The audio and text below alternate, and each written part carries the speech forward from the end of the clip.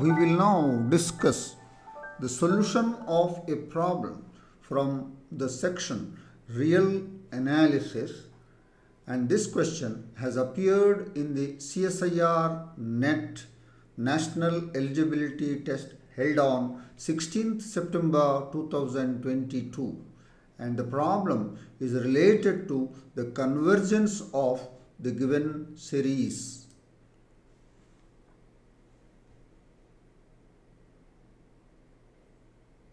The given question is let an is equal to n plus n power minus 1.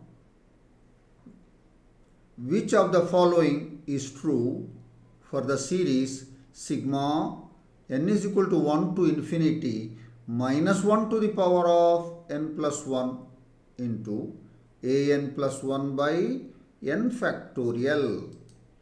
We are given four options Option 1, it does not converge. Option 2, it converges to e power minus 1 minus 1. Option 3, it converges to e power minus 1. Option 4, it converges to e power minus 1 plus 1. So we are given a series sigma n is equal to 1 to infinity minus 1 to the power of n plus 1 by an plus 1 by n factorial where an is given as n plus n inverse. And uh, required to discuss the convergence of this series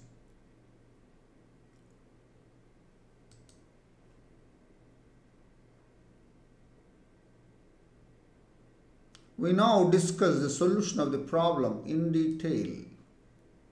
We are given a suffix n is equal to n plus n power minus 1 where n belongs to the set of natural numbers. We have the series sigma n is equal to 1 to infinity minus 1 to the power of n plus 1 into an plus 1 by n factorial. This is a, an alternating series. This is given, this is equal to sigma n is equal to 1 to infinity minus 1 to the power of n plus 1 into for an plus 1 we write n plus 1 plus n plus 1 power minus 1 whole by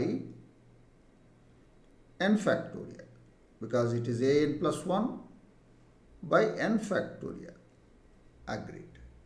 So this is equal to sigma n is equal to 1 to infinity minus 1 to the power of n plus 1 into we separate n plus 1 by n factorial plus n plus 1 power minus 1 by n factorial. Now we further separate sigma n is equal to 1 to infinity minus 1 to the power of n plus 1 by n by n factorial plus 1 by n factorial. n plus 1 by n factorial is written separately like this plus n plus 1 to the power of minus 1 is 1 by n plus 1 and already there is a n factorial in the denominator. So it is 1 by n plus 1 into n factorial. Now this is this is further written as sigma n is equal to 1 to infinity minus 1 to the power of n plus 1 into n by n factorial cancel the n both in the numerator and denominator we'll get 1 by n minus 1 factorial plus 1 by n factorial plus 1 by n plus 1 into n factorial is n plus 1 factorial. So, the n plus 1 factorial. So, this is equal to sigma n is equal to 1 to infinity minus 1 to the power of n plus 1 into un where un is the term that is given in the bracket.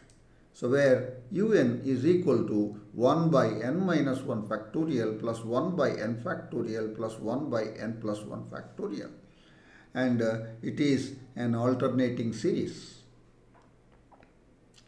Right. So clearly, clearly un is greater than un plus 1 for all n plus 1 for all n belongs to the set of natural numbers. How it is? 1 by n minus 1 factorial is greater than 1 by n factorial. Correct? 1 by n factorial is greater than 1 by n plus 1 factorial. Correct?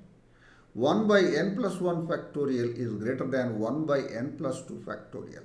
So adding all these things, so un is greater than un plus 1 for all n belongs to the set of natural numbers and for the limit n tends to infinity of un is limit n tends to be 1 by n minus 1 factorial is 0, limit n tends to infinity of 1 by n factorial is 0, limit n tends to infinity of 1 by n plus 1 factorial is 0. So that's uh, the conditions for the convergence of the alternating series given by Leibniz are satisfied. Therefore, by Leibniz test, the alternating series sigma n is equal to 1 to infinity minus 1 to the power of n plus 1 by un is convergent. So thus in the option 1 is not true. So the option 1 says it does not converge, so it converges. So we so it converges, it converges to what? That means we have to find out the sum of the series. We will do that in the next slide.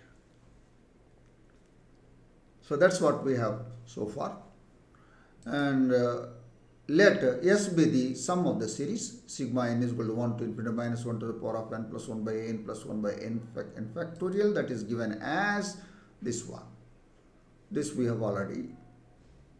So this is written separately sigma n is equal to 1 to infinity minus 1 to the power of n plus 1 by n minus 1 factorial one series plus sigma n is equal to 1 to infinity minus 1 to the power of n plus 1 by n factorial plus sigma n is equal to 1 to infinity minus 1 to the power of n plus 1 by n plus 1 factorial. Separately we have written. written. Now, now in the first term, the first term, minus 1 to the power of n plus 1 is written as minus 1 to the power of n minus 1 into minus 1 whole square. Minus 1 whole square is plus 1. Therefore, it is minus 1 to the power of n minus 1 by n minus 1 factorial. This, this is the first the first, first, first sigma is written like this. And in the second sigma, the second sigma, minus 1 to the power of n plus 1 is written as minus 1 into minus 1 to the power of n. So it is minus minus sigma n is equal to 1 to infinity minus 1 to the power of n by n factorial plus plus. Now this is written as for put n plus 1 is equal to m. n plus 1 is equal to m. When n is equal to 1, m will be 2. When n is equal to infinity, m will be infinity. Therefore, this can be written as sigma m is equal to 2 to infinity minus 1 to the power of m by m factorial. Agreed. Agreed. Now, we recall the exponential series e power x is equal to sigma n is equal to 0 to infinity x power n by n factorial. This is uh, same as sigma n is equal to 1 to infinity, 1 to infinity, 1 to infinity, x power n minus 1 by n minus 1 factorial. Both are same. Just the, this suffix, conditions for suffix is changed. That's all. Now, put x is equal to 1. Put x is equal to minus 1. Sorry, this is not x is equal to 1. This is x is equal to minus 1. Put x is equal to minus 1. Then e power minus 1 is equal to sigma n is equal to 0 to infinity minus 1 to the power of n by n factorial. Yes, this one. And this is equal to sigma n is equal to 1 to infinity minus 1 to the power of n minus 1 by n minus 1 factorial. Agreed. Agreed. Now come to the first sigma. This is sigma n is equal to 1 to infinity minus 1 to the power of n minus 1 by n minus 1 factorial. This one is e power minus 1. And for the second one, second one, so you see here minus sigma n is equal to n is equal to 1 to infinity minus 1 to the power of n, n by n factorial is there. But we have sigma n is equal to 0 to infinity minus 1 to the power of n by n factorial. So to get sigma n is equal to 1 to infinity, so from this, so from this, you take out the first term. What is the first term? First term corresponds to n is equal to 0. So that is minus 1 to the power of 0 by 0 factorial. That is 1. So you have to subtract 1. If you subtract 1 from this, you will get this one. That is, this will be minus e power minus 1 minus 1. You have to subtract because here it is starting from n is equal to 1 to infinity. But we have the value for n is equal to 0 to infinity. Right.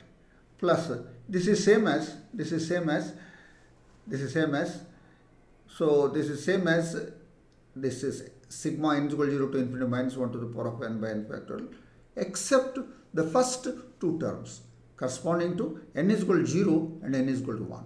When n is equal to 0, it is 1. When n, is, when n is equal to 1, it is minus 1. It is minus 1. So that means uh, to get this, to get this, from e power minus 1, subtract the first two terms, that is minus 1, minus 1 plus 1 or e power minus 1 minus in brackets 1 minus 1. For n is equal to 0, it is 1. For n is equal to 1, it is minus 1. So this is the one. So this is equal to e power minus 1 minus e power minus 1 plus 1 and this is 1 minus 1 is 0 plus e power minus 1. e power minus 1, e power minus 1 cancels and you will get e power minus 1 plus 1. So it converges and converges to e power minus 1 plus 1. That means the sum of the series is this. So, so this is the answer 1. Option 4. In option 4, it converges to e power minus 1 plus 1.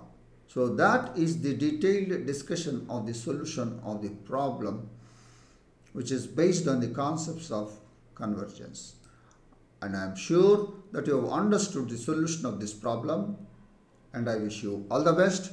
Thank you.